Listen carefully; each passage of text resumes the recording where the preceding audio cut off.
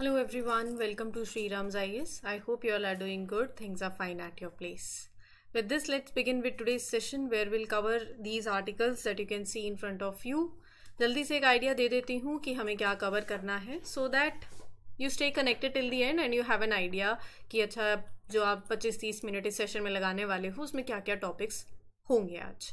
पहले हम बात करेंगे bureau of police research and development के बारे में। आपके पेपर टू से कनेक्ट कर सकते हो। प्रिलिम्स के लिए हर एक आर्टिकल इंपॉर्टेंट है ही। लेप्टोस्पायरोसिस क्या है? ये सब देखेंगे। क्या होता है? किससे होता है? कैसी डिसीज है? किसको होती है? ट्रांसमिशन सिम्टम्स हर एक चीज़। Then will jump to national awards to teachers award से लिंक कर सकते हो। प्रिलिम्स के लिए ये आर्टिकल ज़्यादा इंपॉर्टेंट है। देन जीएस पेपर टू और GS paper three also national industrial corridor development programme कैसा प्रोग्राम है एंड किसकी क्या बात हो रही है, वो सारा कुछ देखेंगे। लास्ट में हम आज बात करेंगे इंडिया के ई कॉमर्स लैंडस्केप की ई कॉमर्स सेक्टर की। तो क्या चैलेंजेस आ रहे हैं इसके अंदर? क्या मेजर ग्रोथ ड्राइवर्स हैं of e commerce what are the issues अगर दिक्कतें हैं तो उनको कैसे सॉल्व किया जा सकता है? What can be the possible solutions so this you can connect with your GS paper three industrial growth से इंडस्ट्रियल पॉलिसी से इसको लिंक कर सकते हो। ठीक है? जिन्हें सेशन अच्छा लगता है, पहले तो please do mark your attendance by liking this lecture जो भी सेशन देखता है, अपनी अटेंडेंस ज़रूर मार्क करो by liking this lecture and do give your feedbacks in the comment section last session में I do read the comments दो बच्चों ने दिए थे। थैंक यू फॉर दैट अगर आपको सेशन अच्छा लग रहा है it feels great that you are writing in the comment section so बाकियों के लिए भी है, जिन्हें भी सेशन अच्छा लगता है तो प्लीज़ बताया करो चैट सेक्शन के अंदर. That is a way of communication also right so शुरू करते हैं. पहले बात करते हैं bureau of police research and development की. क्यों डिस्कस कर रहे हैं? Because recently bureau of police research and development celebrated its fifty fourth foundation day इनका फिफ्टी फोर्थ फाउंडेशन डे था दे सेलिब्रेटेड कहाँ पर? अपने हेडक्वार्टर्स में न्यू दिल्ली के अंदर इसका हेडक्वार्टर है। Now the bureau was set up in 1970 1970 में इट वॉज़ एस्टैब्लिश्ड कौन सी मिनिस्ट्री के अंदर आती है? मिनिस्ट्री ऑफ़ होम अफेयर्स के अंदर। By replacing police research and advisory council तो ये जो ब्यूरो बनी बेसिकली जब ये एस्टैब्लिश हुई so it was created as a replacement, there was earlier an organization that was this council, police research and advisory council. इसको replace करा और फिर bureau of police research and development बनाई। 1970 में बनी हेडक्वार्टर दिल्ली के अंदर है, ये इनका रिस्पॉन्सिबिलिटी क्या है? क्या काम करते हैं ये? जो दिक्कतें पुलिस फेस करती है, वो सब कुछ देखना to figure out what challenges and what issues police face in India they also perform, देखो, research and development. So, they also go for research to find out the solutions. They conduct research कि अच्छा ये दिक्कतें हैं, ये challenges हैं how you can help the police improve their work ये भी इनकी एक ज़िम्मेदारी है। और they stay updated also they keep track अच्छा साइंस एंड टेक्नोलॉजी में क्या क्या नई डेवलपमेंट्स आ रही हैं इंडिया में अराउंड द वर्ल्ड ताकि हम बेस्ट टूल्स एंड मेथड्स को यूज़ कर सकें फॉर पुलिस वर्क ऑल्सो तो ये इनका काम होता है, ठीक है? तो ये इनका मैंडेट है। They identify the needs and problems of the police in the country क्या दिक्कतें हैं फिर they undertake the research projects कि कैसे आप, जो आपके प्रॉब्लम्स हैं, उनको ओवरकम कर सकते हो। They keep the latest developments in check in the field of science and technology जो भी चाहे इंडिया में हो रही हूँ, चाहे अब्रोड हो रही हूँ, ताकि अच्छा ये अप्रोप्रिएट टेक्नोलॉजी है जो काम कर सकती है, पुलिस को हेल्प कर सकती है in their work also over the years इनकी रिस्पॉन्सिबिलिटी जो है they have also been interested with the responsibility of monitoring the training needs and quality of the training in the states and central police. So basically, they are responsible for checking. For improving the training that is provided to the uh, police organisation चाहे वो central हो चाहे state हो। तो वो ensure करते हैं कि जो पुलिस है उनको बेस्ट ट्रेनिंग जो है वो रिसीव हो रही है। फिर उसके बाद what else? They help state police force and the prison systems के ये बेसिकली अपडेट रहे। They improve their methods they have these modern tools ताकि obviously they stay modern and they stay effective तो बेसिकली अगर मैं इसको sum up करूँ तो आप इसको समअप कर सकते हो as modernisation of police force that is also one of the responsibility of BPR and D home affairs को मिनिस्ट्री को असिस्ट करते हैं in setting these quality standards for the equipment that is use by the police they ensure करते हैं कि police use the reliable tools effective tools and more recently they have been given the job of leading coordinating the national police mission ठीक है? ये आपके mains में काम आएगा।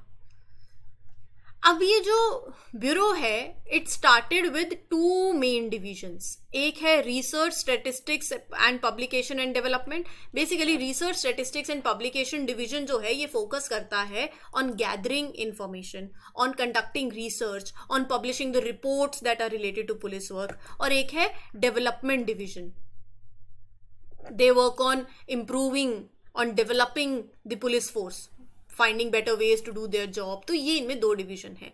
1973 के अंदर, यहाँ पर अगर आप देखो तो on the recommendation of Gore committee the bureau created a training division also they focus is on they focus is on training the police officers अभी इनके मैंडेट में पड़ा था ना तो 1973 में ट्रेनिंग डिवीज़न आया था based on the recommendation of this committee नाम इंपॉर्टेंट है कमेटी का, ध्यान में रखना है।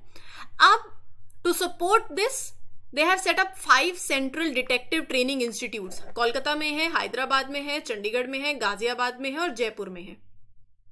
Specifically these institute are for training the police officers right and detective work हो गया इंपॉर्टेंट स्किल्स देना ये इसका uh, इस पर्टिकुलर ट्रेनिंग इंस्टीट्यूट का काम है। ठीक है? आगे बढ़े। चलिए।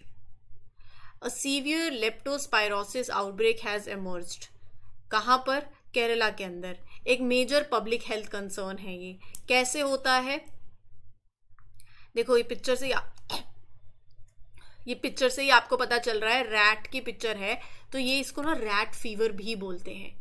एक रेयर बैक्टीरियल इन्फेक्शन है, जो एनिमल्स को भी इफ़ेक्ट कर सकता है और पीपल को भी इफ़ेक्ट कर सकता है। तो ये चीज़ ध्यान में रखना, यहाँ से प्रिलिम्स में स्टेटमेंट बन सकती है कि ये रैट फीवर है तो ऐसा लिखा हुआ आ जाएगा कि it is called as rat fever and it affects animals only आपको जिन्होंने नहीं पढ़ा वो ऐसा लगेगा अच्छा रैट फीवर है तो सिर्फ़ एनिमल्स को ही होती होगी। नहीं, लोगों को भी हो सकती है both it is caused by a bacterium that is called leptospira और लेप्टो लेप्टोस्पायरा ही बेसिकली बोलते हैं and it is most common in tropical areas जहाँ पर वार्मर क्लाइमेट होता है हाई रेनफॉल होती है हर साल तो वहाँ पर ये होता है right now the carriers of this disease can be इधर द वाइल्ड एनिमल्स और डॉग्स और डोमेस्टिक एनिमल्स तो यहाँ पर जैसे इवन अब इसको बोलते रैट फीवर है, लेकिन सिर्फ़ रैट से नहीं हो रही ऐसा नहीं है कि रैट से हो रहा है तो ये बात ध्यान में रखना, जो इस डिसीज का कैरियर है, चाहे वो वाइल्ड एनिमल हो सकता है, वो डोमेस्टिक एनिमल भी हो सकता है,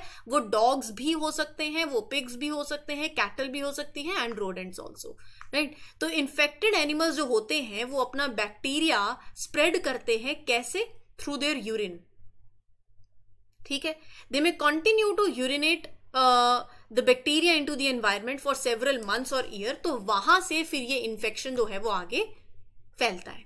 बैक्टीरिया जो है वो सर्वाइव कर सकता है इन कॉन्टेमिनेटेड वाटर और या फिर सॉइल के अंदर भी कुछ हफ्तों और कुछ महीनों तक। पर्सन टू अच्छा ये ध्यान में रखना पर्सन टू पर्सन स्प्रेड नहीं होता कि अगर एक पर्सन को एक्स को हुआ है तो वाई को उससे हो जाएगा, वैसे नहीं होता। बहुत ही रेयर केस के अंदर अगर हो तो हो but it it is not spread from person to person It generally takes two to 30 days to get sick after having this contact with the bacteria. मतलब ऐसा नहीं है कि हुआ तो बैक्टीरिया के साथ कांटेक्ट में आए तो एक दिन के अंदर ही बुखार हो जाएगा, ऐसा नहीं है दो फेजेस के अंदर होता है पहले फ़ेज़ में तो किसी को बुखार होगा चिल्स सर दर्द होगा मसल एक होगा वॉमिटिंग होगी डायरिया होगा the person may feel better for a while but it may become ill again also ये हो सकता है। सम पीपल में suffer a more severe second phase जिसमें किडनी फेलियर हो सकता है लीवर फेलियर हो सकता है राइट right? और ब्रेन के आसपास भी दिक्कत आ सकती है स्पाइनल कोड में। तो ये इसका सेकेंड फ़ेज़ लगा सकते हो आप, जहाँ पर चीज़ें और ज़्यादा सीवियर हो सकती हैं। एंटीबायोटिक्स के थ्रू ट्रीट किया जा सकता है। ठीक है? आगे बढ़ते हैं with next one Department of Higher Education recently, basically uh, under the Union Ministry of Education, they selected 16 teachers in higher educational institutions and Polytech for national awards to teachers 2024 तो 16 टीचर्स को select किया गया है तो हम बात करेंगे हाँ हम बात करेंगे इन अवार्ड्स की ठीक है जो कंट्री के फाइनेस्ट टीचर्स हैं, जो उनका कंट्रीब्यूशन उन्होंने दिया है तो ये अवार्ड उसको सेलिब्रेट कर रहा है। उन टीचर्स को ऑनर करता है who through their commitment and industry have not only improve the quality of school education but school की ऑब्वियसली ये तो उन्होंने किया ही है। स्कूल एजुकेशन की क्वालिटी तो बढ़ाई ही है बट साथ ही साथ बच्चों की ज़िंदगी भी और ज़्यादा एनरिच करी है। तो ऐसे टीचर्स को ये अवार्ड दिया जाता है। सिक्सटीन टीचर्स अभी अभी रिसेंटली जिन्हें चूज़ किया गया है फ्रॉम हायर एजुकेशन इंस्टीट्यूशंस तो यहाँ पर जो आउटस्टैंडिंग टीचर्स हैं जो फैकल्टी मेंबर्स हैं कॉलेजेस से हो सकते हैं यूनिवर्सिटी से हायर एजुकेशनल इंस्टीट्यूशन से या फिर पॉलिटेक्निक से कोई भी फैकल्टी मेंबर हो from these institutions in India, they can be considered for this award as long as they meet the specific criteria. तो eligibility ये है that it is open to all the faculty members of the colleges, universities, higher educational institutions. ठीक है Now the candidate should satisfy these following conditions. क्या conditions हैं पहले तो वो एक रेगुलर फैकल्टी मेंबर होना चाहिए he must have at least five years of full time experience right the nominee should not be over fifty five years of age age भी एक क्राइटेरिया है Vice chancellor director principal they are not eligible to apply important point है, ध्यान में रखना।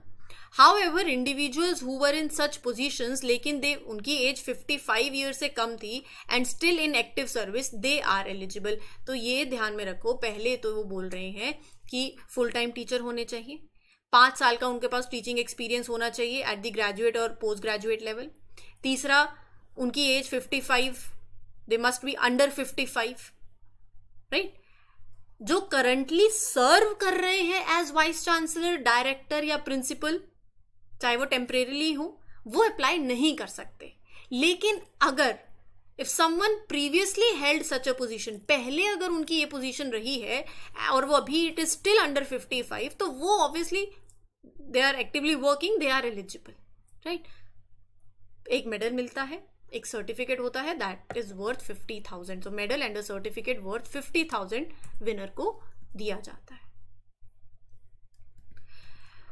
It is my humble request to everybody please do share these session with your friends those who are preparing for UPSC B S S C B state civil services exam so in sessions को ज़रूर share करो because these sessions are equally relevant for them also right and for you एक दिन आ रहे हो और चार दिन गायब हो जा रहे हो तो वैसे मत करो। डेली सेशंस देखो, तभी फ़ायदा होगा, नहीं तो कोई फ़ायदा नहीं होगा। 2025 के प्रिलिम्स और मेंस की डेट आ चुकी है। जिन्होंने नहीं देखी है, देख लीजिए अपना टाइमलाइन अपना स्केड्यूल प्रिपेयर कीजिए और अपने करंट अफेयर्स को अब यहाँ से स्ट्रॉन्ग करना शुरू करो। Right rather I would say कि आपको एटलीस्ट जून मई जून जून, जुलाई, ऐसे लगा लीजिए, जो जून, जुलाई एटली मई तो चलो ठीक है, जून, जुलाई से आपके करंट अफेयर जो है, जो 2025 के लिए प्रिपेयर कर रहे हैं, उनको वहाँ से शुरुआत करनी है। तो जो अभी भी प्रिपरेशन में एंटर करे हैं टाइम नहीं गया है डू स्टार्ट योर प्रिपरेशन और अब क्या है ना, ये मंथ एंड हो रहा है तो आपको अपना जो हमने अभी तक करंट अफेयर्स किए हैं, वो भी रिवाइज करने हैं सारे। एक अपनी वीकली रिवीजन दो, एक फिफ्टीन डेज़ रिवीजन दो और एक मंथली रिवीजन दो, क्योंकि उसके बाद फिर after two days will be starting with the first of September right so इसीलिए अपने महीने भर के जितने भी करंट अफेयर्स हैं, वो अच्छे से रिवाइज कर लो साथ साथ अपने शॉर्ट नोट्स बनाते जाओ and understand the value of these sessions yes they are free for you the quality that is being provided अगर आप दस बीस हज़ार का कोर्स लेके भी यही देखते तो यही क्वालिटी मिलती। तो इसीलिए फ्री है तो उसकी वैल्यू को समझो अंडर एस्टिमेट मत करो और डेली सेशंस देखो। और ये मैं सिर्फ़ अपने लिए नहीं कह रही हूँ all the mentors that are teaching on this particular platform quality कभी भी कॉम्प्रोमाइज नहीं होती है, चाहे वो फ्री ऑफ़ कॉस्ट ही क्यों ना हो। So do take the session seriously ठीक है? As far as The next article is concerned. Recently, the Cabinet Committee on Economic Affairs that is chaired by the Prime Minister उन्होंने 12 नए projects को approve किया है ये बारह न्यू प्रोजेक्ट्स के जो प्रपोजल्स हैं उन्हें अप्रूव किया है under the national industrial corridor development programme with an estimated investment of rupees twenty eight thousand six hundred two crore क्या है ये प्रोग्राम इंडिया में इंडिया का एक मेजर प्रोजेक्ट है, जिसका मकसद ये है कि you need you are aiming to build new industrial cities that are designed as smart cities ये सिटीज़ एडवांस टेक्नोलॉजी यूज़ करेंगी to improve the infrastructure so India का मोस्ट एम्बिशियस इंफ्रास्ट्रक्चर प्रोग्राम है, जिसका मकसद है to develop new industrial cities जिनको आप smart cities बोलोगे and converging next generation technologies वहाँ पर हो across the basically you are using the advance technology across the infrastructure sectors so the goal is to attract investment from both large and smaller businesses also. So this is the part of the government's plan to boost India's export to 2 trillion dollar by 2030. ठीक है so so, इसमें it is serving as a catalyst ना इस programme के under यहाँ पर ना आपको कुछ रीजन्स दिए गए हैं। ये कुछ रीजन्स हैं ये कुछ जगहें हैं। These places will soon have modern industrial smart cities the focus is on creating regional hubs regional manufacturing hubs right in these areas जहाँ से आप नेशनल प्रोडक्शन को लोकल प्रोडक्शन को बूस्ट करो। जैसे पंजाब के अंदर राजपुरा पटियाला हो गया, केरला के अंदर पलक्कड़ हो गया Gaya in Bihar, Agra and Prayagraj, in UP right so these areas are located and under this programme these new industrial areas को अप्रूव किया गया है। ये जो सिटीज़ हैं these new industrial cities will be these cities will soon हो state of the art industrial smart cities ठीक है? रीजनल मैन्युफैक्चरिंग हब्स क्रिएट किया जाएगा। And the development of these industrial cities is envisioned as green field smart cities they will meet the global standards they will include plug and play features walk to work concept businesses यहाँ पर easily set up हो पाएँगे। You will be start working ताकि आप काम भी शुरू कर सो यू स्टार्ट वर्किंग और बिज़नेस आसानी से सेट हो। वॉक टू वर्क डिज़ाइन का मतलब कि जो आपका वर्क प्लेस है, आप उसके पास में रह रहे हो। So that you are making your life more convenient for the people who are working there ठीक है? तो ये एक इनोवेटिव अप्रोच है दैट इंश्योर्स कि सिटीज़ जो है वेल इक्विप्ड हो एडवांस इंफ्रास्ट्रक्चर हो सस्टेनेबल हो एफिशिएंट इंडस्ट्रियल ऑपरेशन हो वहाँ पर। ठीक है? तो ये जो प्रोग्राम है, ये पीएम गति शक्ति नेशनल मास्टर प्लान के साथ क्लोजली अलाइन करता है। Right right? जिसका फोकस है on improving the transportation connectivity different modes of transport like roads and railways and ports so that you work together seamlessly so ये उसके साथ भी अलाइन कर रहा है। ठीक है? चलते हैं हमारे लास्ट आर्टिकल के ऊपर। E commerce has done more good than harm online shopping करते हो? बस उसी की ही बात है और कुछ नहीं है। इंडिया का ई कॉमर्स सेक्टर जो है ई कॉमर्स इंडस्ट्री जो है, वो आज के टाइम पे बहुत क्विकली ग्रो कर रही है। और ये एक्सपेक्ट किया जा रहा है कि 2030 तक 2030 तक it will be worth 350 billion dollars ये आप फैक्ट लिख सकते हो डेटा आपके आंसर्स में काम आएगा जीएस पेपर थ्री में। अब ना ये डिस्कशन जो है, एक तरफ़ तो यहाँ पे हम बोल सकते हैं कि हाँ बहुत अच्छा है स्पार्कलिंग ग्रोथ है, ठीक है। It has broad benefit to consumers no doubt better delivery है रिटर्न हो जाता है, कोई प्रोडक्ट मंगाते हो, नहीं पसंद आता। People in smaller towns also they get the products जो उन्हें लोकली आसपास अपने नहीं मिल रहे हैं, वो ऑनलाइन मंगा लेते हैं राइट ओवरऑल डिलीवरी हो गया शिपिंग इंफ्रास्ट्रक्चर हो गया इम्प्रूव हो रहा है। लोगों के पास वाइड वेराइटी ऑफ़ प्रोडक्ट्स के लिए चॉइसेस भी आ गए हैं, जो उन्हें शायद लोकल स्टोर्स पे ना मिले, ठीक है? लेकिन इसका दूसरा साइड क्या है कि small businesses are always finding ways to thrive by using the online platforms बहुत से स्मॉल बिजनेसेस हैं that are seeing more sales through their online presence right तो अब यहाँ पर ऐसा है ना कि there is a concern that more people shop online तो जो स्मॉल लोकल बिजनेसेस हैं दे माइट स्ट्रगल तो बोथ वेज है। हम इसके चैलेंजेस भी देखते हैं और आज ई कॉमर्स सेक्टर में ऐसे क्या फैक्टर्स हैं जो इतना ग्रोथ हो रहा है? पहला तो हर किसी के पास फ़ोन आ गया है। वो भी स्मार्ट वाला। स्मार्टफ़ोन।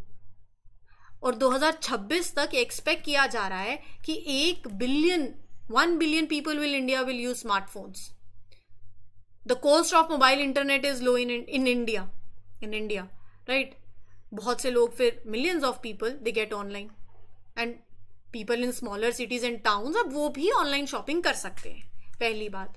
दूसरी बात यूपीआई डिजिटल पेमेंट्स बढ़ने लगी हैं फाइनेंशियल इंक्लूजन हो रहा है. Right there is less need for cash on delivery ना तुम ऑनलाइन शॉपिंग और ज़्यादा एक्सेसिबल हो गई। तीसरी बात कंज्यूमर का कन्वीनियंस भी है, उनकी प्रेफरेंस भी है। फास्ट डिलीवरी हो गई एंड आजकल लोगों की ज़िंदगी इतनी बिज़ी हो गई है कि वो ऑनलाइन शॉपिंग पसंद करने लग गए हैं क्योंकि उनका टाइम बचता है। ये भी एक बात है।